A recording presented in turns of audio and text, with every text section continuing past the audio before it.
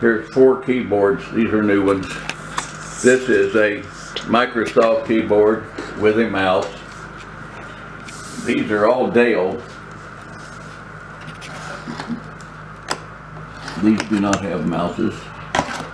They're like, again, they're still wrapped in cellophane. And if you're interested, these will go with them. We got one 11 by 14 picture frame. We've got four 8 by 10s with glass in them. Nine pieces. Nice there.